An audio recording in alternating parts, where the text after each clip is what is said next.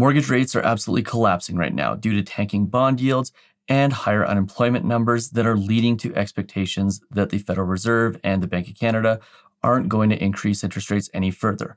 In fact, the market seems to be projecting that interest rates are going to come down in the near future. And subsequently, that is making mortgages significantly less expensive.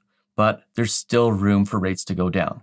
And I'm going to show you all the details with respect to interest rates. But before I do, do me that favor, hit the subscribe button and hit the notification bell so more people like you can see this video. And if you're noticing that maybe you aren't subscribed, that's because this is a brand new channel dedicated to Canadian real estate content.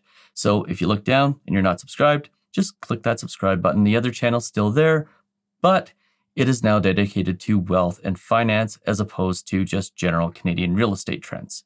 And by the way, if you still want to get my Rate Secrets course, which if you're watching this video, probably means you're in the market for a mortgage and interest rates, whether that be for a purchase or a refinance or something else, well, you can still get my Rate Secrets course, the retirement version, for $27. And if you get that version, you get all future updates, including the upcoming renewal update that will be released in the coming weeks. But without further ado, let's get into the interest rates and what is happening because interest rates across the board are coming down.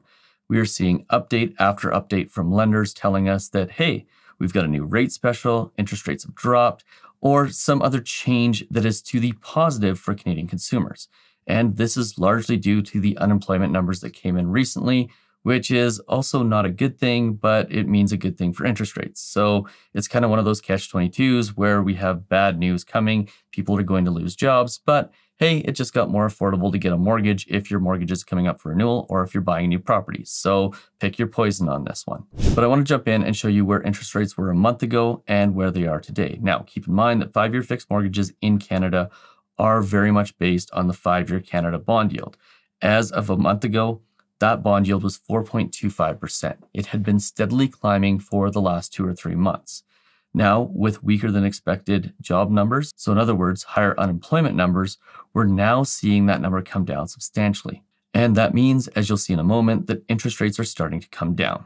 And just to touch real quickly on the reasons for that, well, the unemployment numbers are not looking good.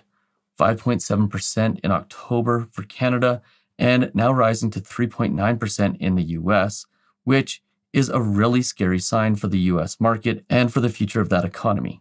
And let's be very clear here that when unemployment rises and rises consistently, that is usually an indication that a recession is right around the corner. Now, some are arguing in Canada that we're already in a recession. Only time will tell, and we're going to have to wait for the numbers to be released and revised two or three months down the road in order to determine if we actually entered it in October or if we're going to technically enter it a little bit later on. But needless to say, people are hurting out there, things are costing more, and people are losing jobs which means we're not headed in a positive direction. So, what does that mean for interest rates? Well, really simply, that means interest rates are going down. We'll start with the five year fixed full feature mortgages. These are the types of mortgages that you get from non bank lenders. They have better products because they have to have better products. They can't skate on their branding or their marketing budgets. So they actually have to have a product that is superior to those that come from the banks. And typically that comes in the way of lower payout penalties, as well as better service and representation that you can get from a broker. Most of the banks still won't allow you to have representation when it comes to making the biggest financial decision of your life, unless it is representation that is paid for directly by them. And I'm going to tell you right now if the person you are getting advice from on your mortgage is employed by a bank, they absolutely have the best interests of the bank at heart. Well, maybe not at heart, but they definitely have the best interests of the bank in mind because if they don't, they'll lose their jobs. It's that simple. So if they can get a couple extra pennies out of you, they absolutely will. And if they can ignore the fact that their payout penalties are significantly higher when interest rates start to go down, they're going to do that as well. So these are the best of the best mortgages. We call them the A plus mortgages. The banks will call them the B mortgages, but these are really the best mortgages that you can get in Canada. And as of right now, you can get them for 5.69% on an insured mortgage. Now, keep in mind, bond market yields drop significantly more than the 15 basis points that's being reflected here. And what that tells us is if bond market yields stay about where they are, there could be even further cuts to interest rates in the coming week. Now, if you're putting 20% down, you're looking at 5.94%. Now, keep in mind, this is going to be one of the highest rates because this is where the banks no longer have insurance and where they have the most exposure. It used to be if you put 20% down, you got the best rates. Now you have to get 35% down in order to get the best rates. Or alternatively, you have to pay for mortgage insurance. 25% down, you're looking at 5.84%. At 30% down, you're looking at 5.79%. And at greater than 35% down, you're looking at 5.64%.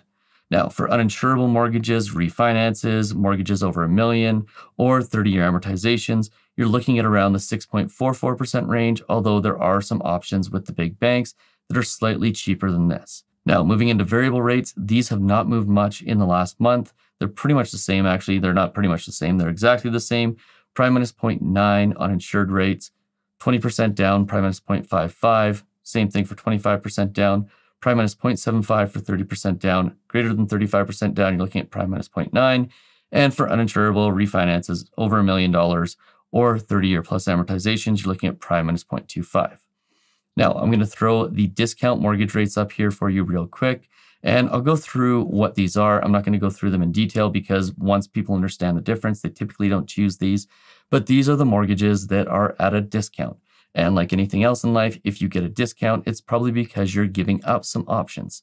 You go to a car dealership, you see two cars that are absolutely identical. One's priced $10,000 higher, you know it's got more options, or it's newer, or it's better.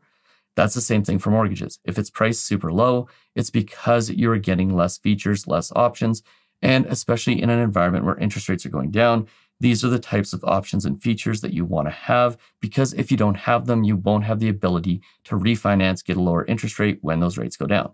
Oh, and by the way, if you have a big bank five year fixed mortgage and interest rates go down, you're going to continue to have to pay the higher interest rate because there are going to be no options for you to get a lower rate in the future until your mortgage comes up for renewal. That's just the way their payout penalties are designed. And that's why you choose the non bank mortgages that have cheaper payout penalties so that you can take advantage of lower rates when they become available.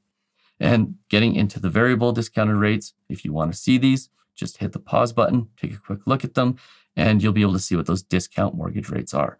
But again, these come with catch, and typically it means that you can't leave the lender until renewal. And that means you lose all your ability to negotiate with them. They've got you over the barrel, and you have pretty much no options. So it's once again getting cheaper for Canadians to get mortgages. It looks like it's going to get even cheaper in the next couple of weeks. And if bond rates continue to go down and there continues to be signs that a recession is coming, well, these rates are just going to get lower and lower and lower.